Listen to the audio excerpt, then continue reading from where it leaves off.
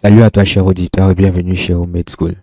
Dans cette nouvelle vidéo, il sera question de charger notre paillasse d'escalier de façon à voir le résultat qui s'affiche juste là à l'écran. Reste avec nous, cette thématique t'intéresse, on démarre tout de suite.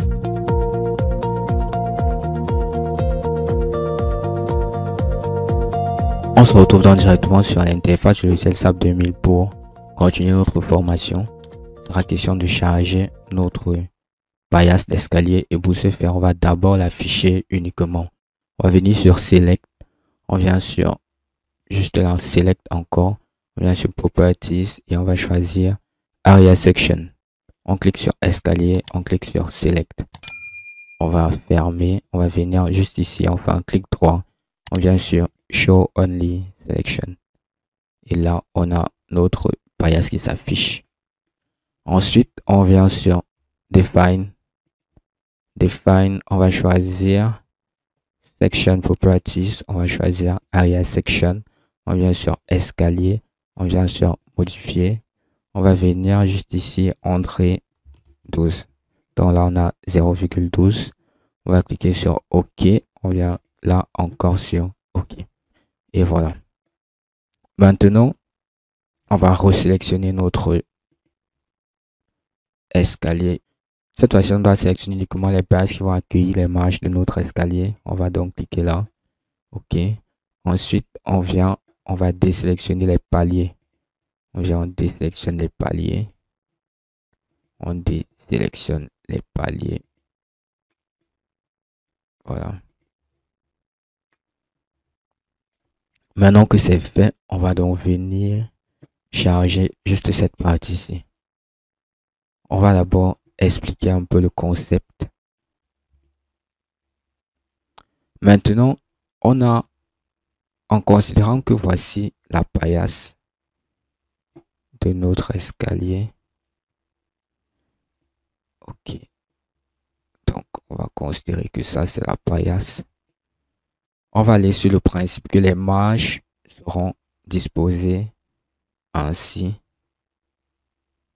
ainsi, de façon à toujours toucher la paillasse avant de remonter. Et voilà. Donc, on peut assimiler ça à ceci. Un truc comme ceci, comme ça, comme ça. Donc ça, c'est toujours la paillasse comme ça, avec une partie qui va former un triangle.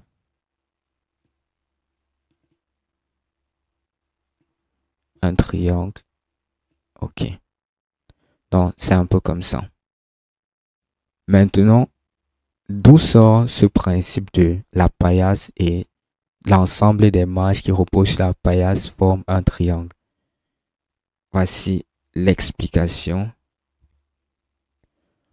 On va considérer,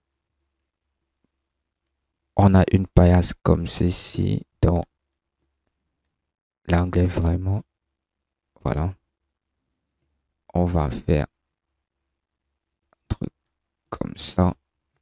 C'est toujours la paillasse. Maintenant, on va dessiner aussi un rectangle qui va aller dans ce sens-ci comme ça. Voilà. Si on veut représenter nos marches d'escalier sur cette paille-ci, on va aller comme ça, comme ça, et on va monter comme ça, on va aller comme ça, et on va monter comme ça, on va aller comme ça, et on va monter comme ça, comme ça. Ce qui fait que là, on aura, pour cette marche-ci, on aura cet espace vide ici. Pour cette marche ici, on aura cet espace vide ici. Pour cette marche ici, cet espace vide, cette marche, cet espace vide. Donc, on aura donc, pour cette, toute cette surface-ci, on aura l'équivalent de cette surface-ci. Ce qui convient, ce qui va faire simplement la demi-surface de tout ce rectangle ici. Donc, du coup, on a notre paillasse et l'ensemble des marges forment une demi-surface d'un rectangle bien déterminé, bien défini, qui aura une hauteur de 0,15. Donc la hauteur de la paillasse, la hauteur des marches d'escalier sera 0,15. Tout simplement parce que on aura trois autres couches, dont la couche de sable, mortier de pose et les carreaux qui vont compléter à 0,2, soit 20 cm. Donc, à chaque fois qu'on va poser un pied sur une marche, on va s'élever de 20 cm. Voilà. Et maintenant, donc, la hauteur là, pour qu'elle puisse donner exactement ce qu'on veut, c'est-à-dire une demi-surface d'un rectangle, il faudra faire 0,15 divisé par 2. Et du coup, on aura le résultat qui convient. On peut donc passer on peut donc charger notre bias. On va donc venir sur Assign.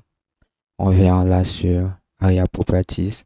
On vient sur Uniform. On veille bien à venir ici sur Add Existing Load. Nous sommes sur Escalier. On a l'unité qui convient, kilonewton par mètre carré. Et on va entrer 25 fois 0,15 0,15. On va appuyer sur Entrée. Ensuite, on vient juste ici et on va faire diviser par 2. On va appuyer sur Entrée. Et voici le résultat qu'on obtient pour les marges de notre paillasse. Et on va appliquer. Et voilà. Maintenant, on va donc venir sur Select. On va cliquer sur on va venir là sur Properties, on va choisir Area Section et on va sélectionner escalier, on va sélectionner tout cette fois-ci avec les paliers. Maintenant, il est question de rajouter toutes les couches, c'est-à-dire de sable, la couche de sable, mortier de pose et les carreaux. Et juste ici, on a ces différents différents points. Donc, on va entrer 0,4 fois 2 plus 0,38. On vient là, on est sur 0,4 fois 2, soit 0,8, 0,8 plus 0,38. On va appuyer sur Entrée. On a cette valeur ici on est sur Add to Existing Load et on est sur Escalier et on va cliquer sur Appliquer. Maintenant, on va venir cliquer là et on va choisir Live. Il est question maintenant de mettre les charges d'exploitation. Et juste ici, pour un escalier à exclusion des marges isolées, on a juste ici. Donc, pour les escaliers à l'exclusion des marches isolées, on a cette valeur ici. Donc, on vient ici et on va entrer 2,5. 2,5. OK. 2,5. Nous sommes sur live, nous sommes sur Ato, Existing Load et on va resélectionner. On peut venir cliquer ici et tout sélectionner cette fois-ci et appliquer. On va appliquer. Et voilà. Et on va cliquer sur OK. Nous avons donc terminé avec l'application de nos charges. Si vous avez eu des préoccupations par rapport à cette vidéo, vous pouvez poser vos questions en commentaire. Si vous avez d'autres préoccupations par rapport à votre utilisation du logiciel, vous pouvez également nous poser des questions. Nous ferons plaisir de vous répondre. On se dit à bientôt à la prochaine vidéo.